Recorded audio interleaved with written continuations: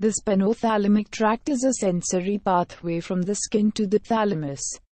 From the ventral posterolateral nucleus in the thalamus, sensory information is relayed upward to the somatosensory cortex of the postcentral gyrus.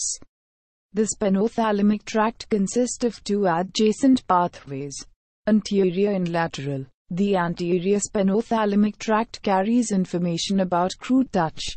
The lateral spinothalamic tract conveys pain and temperature. In the spinal cord, the spinothalamic tract has somatotopic organization.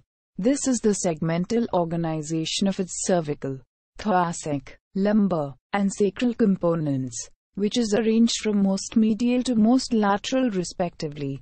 The pathway crosses over at the level of the spinal cord, rather than in the brainstem like the dorsal column medial lemniscus pathway and lateral corticospinal tract.